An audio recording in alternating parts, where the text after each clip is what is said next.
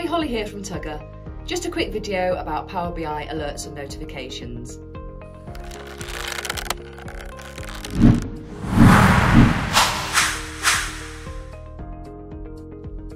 Power BI allows you to receive alerts and notifications by email when a particular value on your dashboard exceeds a threshold.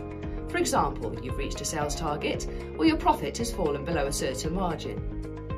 Alerts are only available to certain chart types and only to the owner of the dashboard, even if the dashboard is shared. Let's take a quick look at setting up an alert. And you can set the alert to inactive for as and when you don't need it.